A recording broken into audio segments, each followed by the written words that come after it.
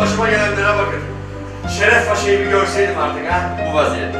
Ha şey, e, Şeref Paşa şu sırada padişah efendimiz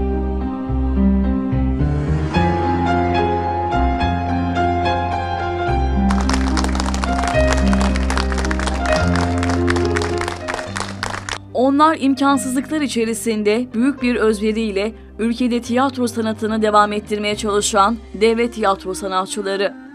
Onların biricik isteği ülkenin başkentine yakışır bir tiyatro salonunda tiyatro severlerin karşısına çıkmak. Onlar için tiyatro bir aşk ve onların tüm zenginliği seyircinin alkışı. Onlar anlatmak istediklerini tiyatro vasıtasıyla anlatır. Anlamak istemeyenleri de yine tiyatro vasıtasıyla protesto eder, eleştirir, yüzleştirir ve sorgular. 2018 yılındayız. Halen 19 sene önce yanan devlet tiyatroları ile ilgili bir tek girişim yapılmadı.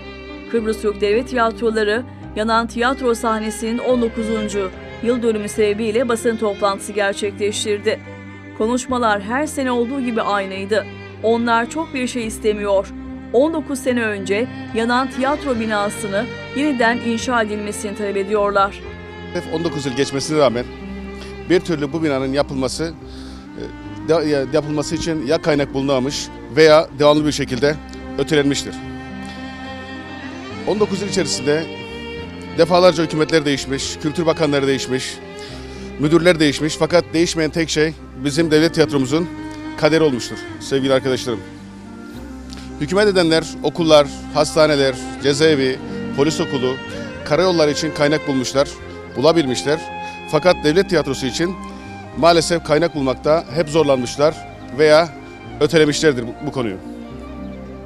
Çalışanlarımız bu yanık tiyatro binasının, gördüğünüz yanık tiyatro binasının kalıntıları arasında sabırla, umutla, özveriyle e, çalışmalarını devam ettirerek tam 19 yılda 57'ye yakın oyun oyun hazırlamışlar ve bu oyunları bulabildikleri veya yalvararak sahnelerini kendilerine vermelerini rica ettikleri kişilerin verdikleri sahneleri de halkla buluşturmaya çalışmışlar.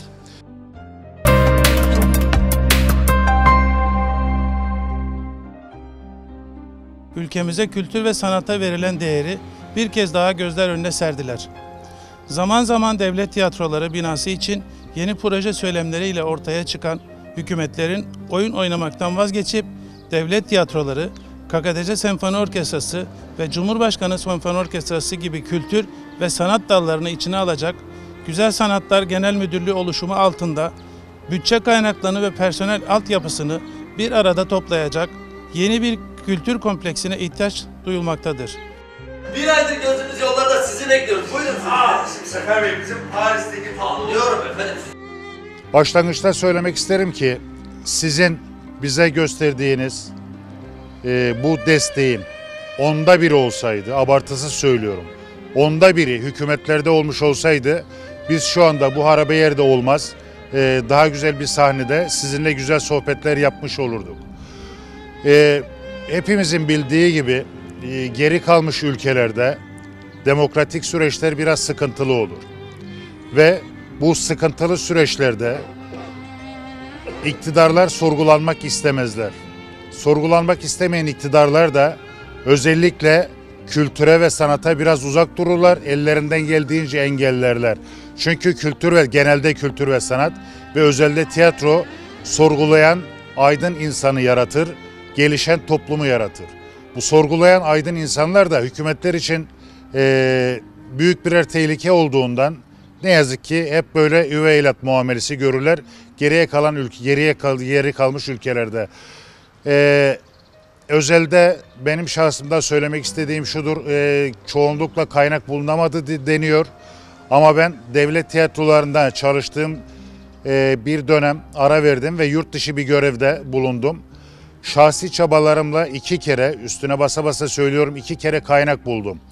Birinci kaynak e, eski Büyükelçi Ertuğrul Akbakan vasıtasıylaydı. Bulduğum ikinci kaynak e, Mersin'de esnaf ve sanatkarlardan sorgusuz sualsiz verdikleri desteklerden dolayı tümüyle tüm kaynakları buldum. Ama buradan verilen yanıt neydi biliyor musunuz? Bizim başka yerlerden yardıma ihtiyac- ihtiyacımız yok. Biz e, büyük bir devletiz, biz yaparız. 19 yıldır hala yapacaklar.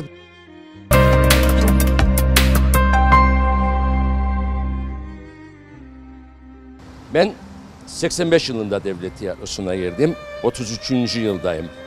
Şöyle ve böyle bu sahnede bu yanık yerde yanmadan önce 14-15 yıl bir 20-25 civarında oyunda görev aldım. Devlet tiyatrosu yandıktan sonra Güzelyurt'ta tiyatro salonu yapıldı. Devlet tiyatrosu yandıktan sonra Mausa'da tiyatro salonları ve sahneleri yapıldı. Devlet tiyatrosu yandıktan sonra üniversitelerin tiyatroları oluştu, tiyatro salonları oluştu, tiyatro kulüpleri oluştu. Onlar tiyatro çalışmalarını o sahnelerinde, salonlarında yaptılar. Devlet tiyatrosu yandıktan sonra bazı belde, kasaba belediyelerinin tiyatro salonları oldu. Onlarda oyunlar oynandı. Devlet tiyatromuz yandıktan sonra bizler Sayın Müdürümün de söylediği gibi 57 oyun oynadık. Yurt dışı turneler yaptık. Bir devletin tiyatro salonunun olmamasının ayıbını biz oyunlarımızı bu gördüğünüz güzide arkadaşlarımızla birlikte el birliğiyle bugünlere getirmeye çalıştık. Ama artık yeter. 19. yılı bitirdiğimiz bugün ve 20. yıldan gün aldığımız bugün umarım Sayın Başbakan'ın 3 tane önce, önceliğim var dediği ve bir tanesi devlet tiyatrosu salonunun olacağını söylediği önceliklerden hemen başlamaları ve bizi artık salonsuz, sahnesiz bırakmamalarıdır. Bir de halka şunu söylemek isterim. Her halk layık olduğu şekilde yönetilir. Eğer halk tiyatrosunu istemezse çok 20 yıllar daha geçecektir ve bu Kıbrıs Türk Devlet Tiyatrolarının ne sahnesi ne salonu olmayacaktır. Bu yüzden halk da artık kendi sahnesini, kendi salonunu istesin. Sen biraz gergin galiba. O öyledir efendim. Tabiatı itibariyle biraz asabi. Belli belli. Ülkemizin adını taşıyan Kıbrıs Türk Devlet Tiyatromuz tam 19 yıldır sahnesiz. 19 yıldır evimiz olmamasına rağmen yanık binanın kalıntıları arasında inancımızı yitirmedik, sabır ve umutla hep üreterek sanat faaliyetlerimizi kesintisiz sürdürerek yaklaşık 57 tane tiyatro eserini sahnelemeye çalıştık. Çünkü tiyatro diğer bütün sanatlar bünyesinde birleştiren ve insanlık tarihindeki bütün değişime, gelişime rağmen yüzyıllardır değişmeyen bir özde, insandan insana akan ve o anı paylaşmanın verdiği enerjiyle, insanın önce kendiyle sonra da diğerleriyle tanışıp barışmasına hizmet ediyor. Kıbrıs Türk Devlet Tiyatroları kurulduğu günden bugüne hep bu bilinç ve sorumlulukla hareket etti.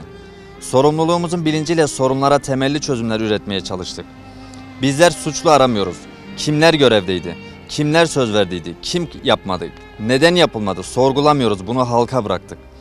Kıbrıs Türk Devlet Tiyatroları çalışanları olarak 2018 yılının sahnesi son yılımız olmasını, ülkemizin hak ettiği, devletimizin sorumluluğu ve yüz, yüz akı olacak sahneye artık kavuşmak istiyoruz.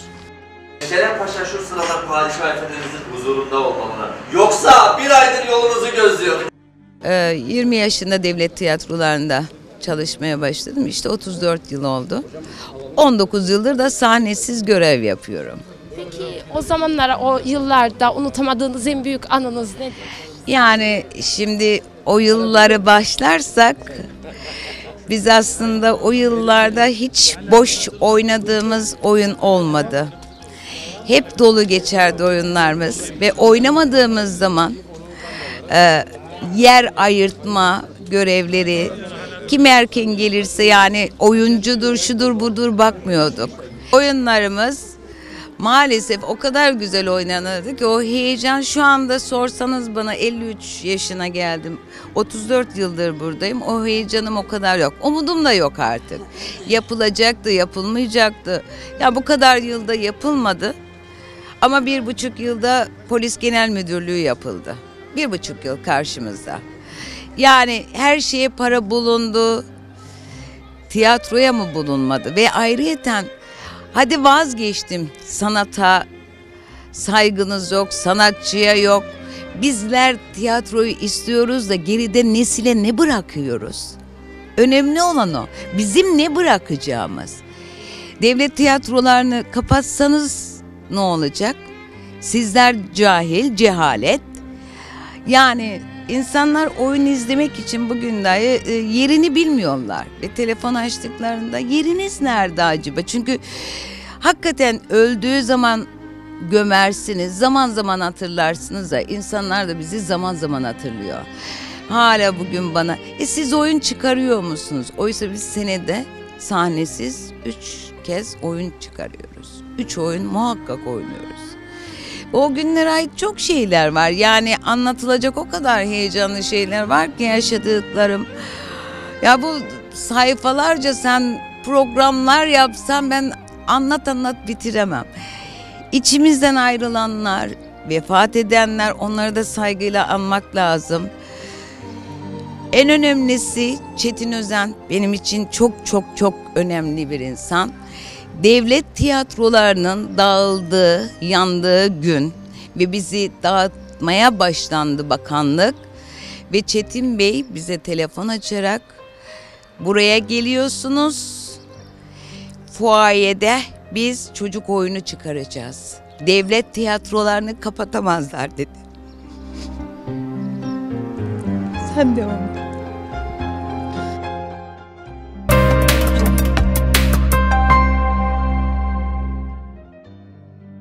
1993'ten bu yana Kıbrıs Türk Devlet Tiyatroları'nda eee, kostümcü olarak çalışmaktayım. Eee, aslında gerçekten eee, durumumuz eee, içler acısı ama bizi hiç kimse duymadı, duymuyor. Herhalde de bu yaştan sonra da duymayacaktı. Biz buraya başladığımızda çok genç yaştaydık ve şu anda parmaklarımızın sayısını geçmeyecek kadar da azınlıktayız. Yeni arkadaşlarımız evet yeni arkadaşlarımız var ama bu yangını, bu süreci yaşayanlar eee, birkaç kişi sadece. Eee, umarım gelecek olan eee, ve gençlere bırakacağımız yer bu şekilde olmaz diyorum. Kocaman bir çukur bırakmayız. Güzel bir binayla, güzel bir kadroyla burayı bırakırız ve onlar bizden alırlar, devam eder diye düşünüyorum. Ee, inşallah bugün bu eylemimiz ee, daha doğrusu hatırlatmamız diyeyim. Şu anda iktidarda olan e, gençlere çünkü bizden gerçekten genç hepsi gençler bir yerlerden tutup e, bizleri de e, ve bu sanat kültür binasını da ayağa kaldırırlar diye düşünüyorum. Geldiğiniz için de ilgilendiğiniz için de size çok çok teşekkür ediyorum. Peki oyuncular nerede? Ne oyuncusu? Tiyatro, monşer, tiyatro. Oyuncular olmadan oyun olur mu hiç? Peki vatandaşlar bu konuda ne düşünüyor? Kanal T Haber muhabiri Bahar Derya, vatandaşın bu konuda görüşlerini aldı.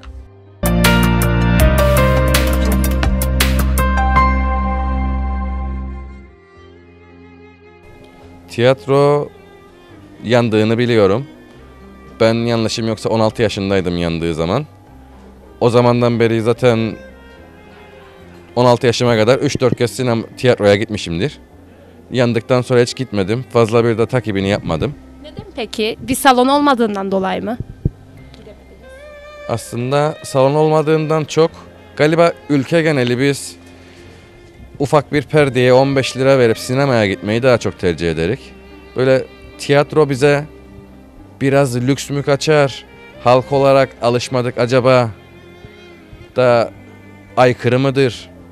Bilmiyorum ama galiba biz 7'den 70'e söz konusu sinema olduğunda ve Avrupa filmi olduğunda giden bir halk olmamıza rağmen yanlışım yoksa tiyatro kültürünü sindirememiş, kabul edememiş yadırgadığımız bir salondur zannedersem. Yani tamir olsa da birinin gideceğini açıkçası zannetmiyorum.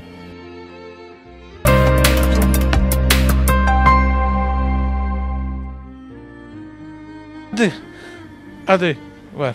Peki 19 yıl önce 99 yılında bir yangın çıktı ve tiyatromuz kül oldu. Onu biliyor musunuz? Biliyorum şeyde bu polisin karşısında orada. Biliyorum. Peki hiç tiyatroya gittiniz mi orada? Hiç Ben ben em, e, tiyatroyu sevmem. Yani şu yönden sevmem. Ben spor benim için daha ağırlıklıdır.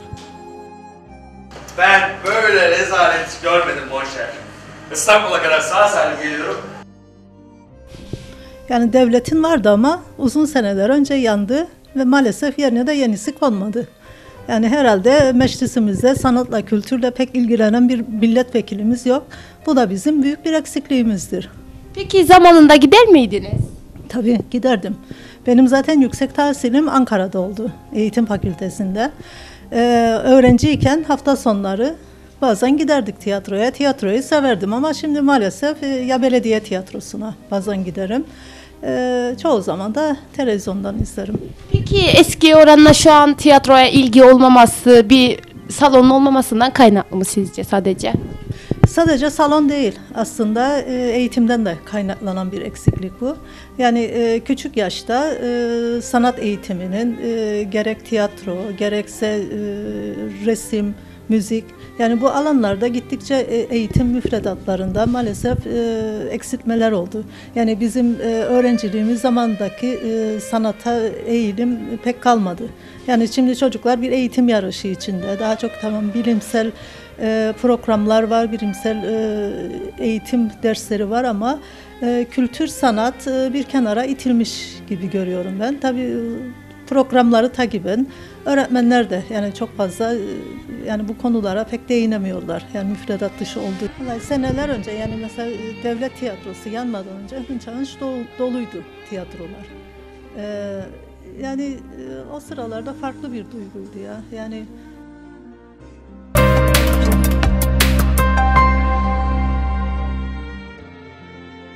Ne acı bir gerçek. Devlet tiyatroları bizim çocukluk hayalimiz. Yani çocukken gittiğimiz ama bir nedenle yakıldığı hatta bunun dedikoduları bile var böyle birilerinin yaktığı bir e, devlet tiyatrosu var. Ve maalesef ne acıdır ki bu devlet tiyatrosunun yakılmasının üzerinden bugün hükümet eden bu dört parti HP hariç tabii ki yeni bir parti olduğu için ama onun içindeki insanlar da yani HP'de e, var olan insanlar da daha önce yine bir takım başka partilerdeydiler. Yani bir bakıyoruz ki bugüne kadar hükümet eden partiler bu devreleri geçtiler ve o kadar ısrarlı bir şekilde talepler oldu ki bu devlet tiyatrosunun yapılması konusunda ama ne acı ki hiçbir hükümet buna bir biçimde yaklaşmadı. Hatta daha sonra belediye tiyatrosunun bir çalışması vardı. Sayın Yaşar Ersoy'un e, işte bir tiyatro yapılsın ve bu tiyatro KKTC'de arzu eden, e, tiyatro oynamak isteyen insanların da kullanabileceği bir mekan olsun. Ne onda bir gelişme olabildi ne de yakılan devlet tiyatromuz ne acıdır ki düzenlenebildi. Bence derhal bu ayıbın ortadan kaldırılması lazım ve devlet tiyatrosunun gerçekten insan hayatına yakışır bir biçimde çünkü biz insanlar da Kıbrıs'ta yaşayan vatandaşlar da kaliteli bir ortamda kaliteli oyunlar izlemek hakkına sahip olduğumuz bu bizim bir insanlık hakkımız. Onun için derhal insanlık hakkımızı geri vermeliler diye düşünüyorum. Peki o yıllarda e, muhakkak gitmişsinizdir devlet tiyatrosuna. Onunla ilgili anılarınız var mı o zamanlarda? Evet, devlet tiyatrosuna ya da diğer tiyatrolara, belediye tiyatrosuna aynı zamanda hem ben gittim hem de çocuklarımı çok götürdüm. Hatta şu an benim çocuklarımdan bir tanesi eee, doktora yapan bir tiyatro sanatçısıdır. Onun için gerçekten içimiz daha da eee, bu konuda acılıdır baktığınız zaman. Çünkü yani görüyoruz ve yani gördük ve yaşadık uzun yıllar bütün bunları. Örneğin benim çocuğumun tiyatro aşkı ve tiyatro sanatçısı olma eylemi bu devlet tiyatroları sayesindedir. Yani bu ülkede yaşanan tiyatrolar sayesindedir. Konuşmayın. Ha, mükemmel. Görüyorsun. Hiç hiç anlatmıyor. Vay. Vay böyleymiş. 19 yıllık. Yok. Vay yanlışmış. Vay görüyorsun.